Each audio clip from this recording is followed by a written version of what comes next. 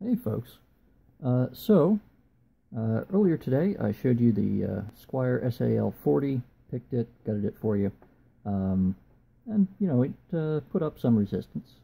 I wouldn't call it super easy. I certainly wouldn't expect someone uh, in one of my beginner classes to uh, to necessarily breeze through it at the end of the first lesson, but uh, certainly, this is not um, unpickable or particularly uh, uh, resistant to various other types of entry, uh, aluminum body and all that.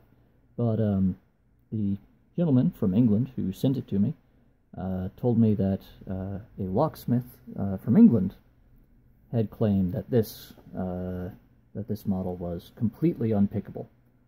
Obviously, that's not the case, but we can actually make it uh, at least somewhat harder to pick.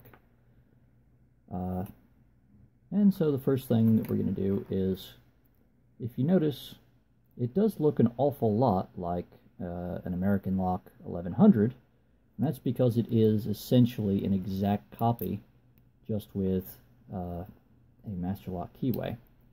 So, if we open this up and drop that screw and retaining plate out. There's our core again. And, you know, it's not a terrible core, it's just not a great core.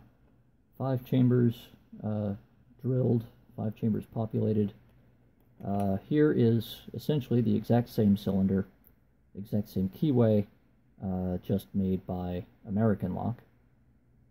Uh, this one's zero bitted, but it will illustrate the principle. Pop that guy in. Hopefully this will actually work. I'm not going to uh, screw this closed right now because just in case that key doesn't fit. I don't want to have to drill the lock open. So, lock it back up. Come on, buddy. Stay with me. Okay. Now, uh, sure, this is only a 4-pin blank, and it's zero bitted right now, but it will get the point across because these are going to be all American lock pins still functions just fine. But uh, with all of the serrated and serrated spool pins that American Lock makes, it will be uh, that much more difficult. And we can still, we could even pin this to match these uh, Squire keys. They fit in, so we can get pins to match it. And it will be that much more pick resistant. But what can we do beyond that? Well, because that 5-pin uh, American lock core with the master lock keyway fits, why not uh, a 6-pin American lock core? That will still fit in there. This one is also uh, uh, from my parts bin, so it's not actually fully accommodated, but there it is. Inserted and shackles locked up. Key goes in, and it functions just fine. And at six pins, that's going to be quite a bit more uh, pick resistant than uh, either of those five pin cores. But, you know,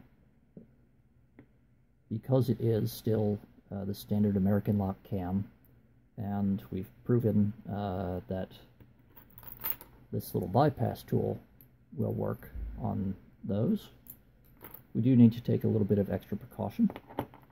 And so we would just take these two uh, little thin metal plates, stack them on the tailpiece of the cylinder.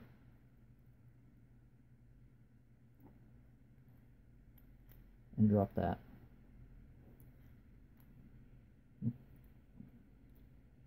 Drop that into the lock body. Now hopefully we can manage to do that without them flying over the place. There we go.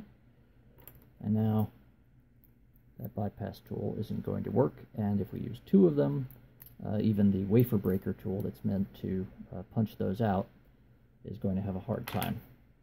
And so with just a few little modifications and uh, probably six dollars or so in parts or used to be I, I actually knew the conversion to pounds uh, pretty well but uh, recently I've got no idea what they're doing so uh, probably less than certainly less than five pounds uh, probably depending on uh, whether or not uh, the retailers there have adjusted their prices for their imports, probably not more than three. So, you know, just a few things that will make you just a little bit happier with what is otherwise a halfway decent lock. So, until next time, have fun and happy picking.